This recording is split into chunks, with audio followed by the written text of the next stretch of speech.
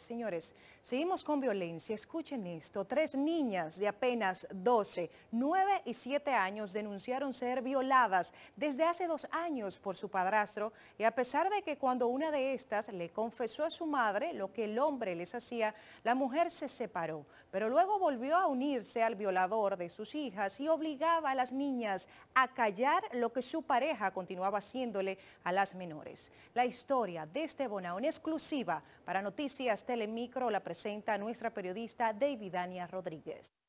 Son tres hermanitas de 12, 9 y 7 años. En estos momentos se encuentran bajo la custodia de su tía paterna y es que las niñas narran que eran abusadas sexualmente por su padrastro desde hace dos años y con el consentimiento de la madre. Desde que mi mamá comenzó a trabajar y nos dejaba con él y después también cuando yo estaba en mala de la escuela y se quedaba ahí y comenzaba también a hacer lo mismo.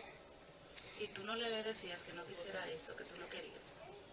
Yo le decía y me obligaba. Ella me había preguntado que, que, que por yo estaba actuando así, rara, y yo le dije, porque tío hizo taita, que me había violado y seguía con lo mismo. La mayor cuenta que en principio las amenazaba con que mataría a su madre si le decían lo que estaba pasando. Fue por eso que un año después de los abusos sexuales decidieron contar a la madre. La mujer se separó del hombre, pero tiempo después volvió con él.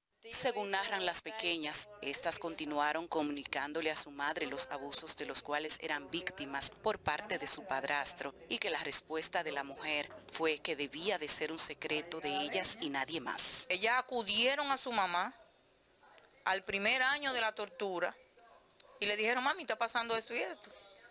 Ella no le creyó, que eso fue lo primero y cuando le creyó lo votó, pero luego le dijo, mira, es un secreto entre las tres, tú no se lo puedes decir a nadie. De su lado, la tía de las niñas pide justicia al tiempo que denunció que aunque el hombre fue dejado en prisión como medida de coerción, a la madre le dieron una garantía económica, lo que la señora y tutora de las niñas califica como un premio. En Bonao, República Dominicana de Ibidania Rodríguez, Grupo de Medios Telemicro. Muy lamentable.